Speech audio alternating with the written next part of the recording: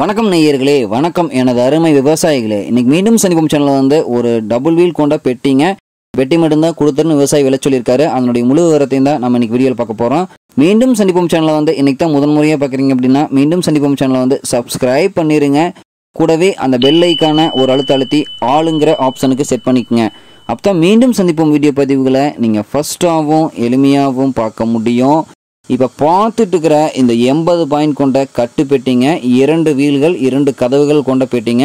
உங்களுக்கு பிளாட்ஃபார்ம்லாம் நான் காமிக்கிறேன் பார்த்துக்குங்க. எந்த இடத்துலையும் ஒரு சின்ன ஓட்டை இல்லாமல் நெளிவு இல்லாமல் நல்லா தெளிவான பெட்டிங்க. நல்லா ஹெவி லோடு ஓட்டக்கூடிய பெட்டிங்க. உங்களுக்கு டயர் பாயிண்ட்டு நான் காமிக்கிறேன் பார்த்துக்குங்க. இரண்டு சைடும் டயர் பாயிண்ட்டு தெளிவாக காமிச்சிருக்கேன் பாருங்கள் உங்களுக்கு ரெண்டு டயருமே நல்லா குட் கண்டிஷனில் பட்டனோட இருக்குதுங்க. உங்களுக்கு ஃப்ரண்ட்டு சீட்டு சைடு சீட்டெல்லாம் பார்த்தீங்கன்னா ஃபைவ் எம் சீட் திக்னஸ் கொண்ட பெட்டிங்க.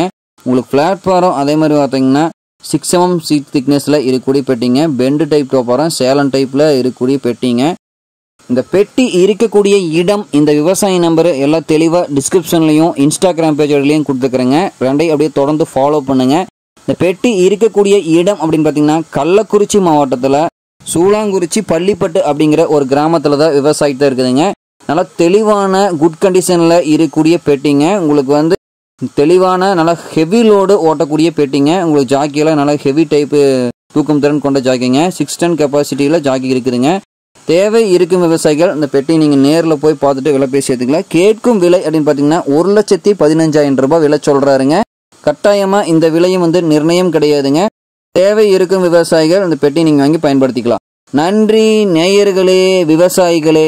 மீண்டும் ஒரு வீடியோ பதிவில் சந்திப்போம்.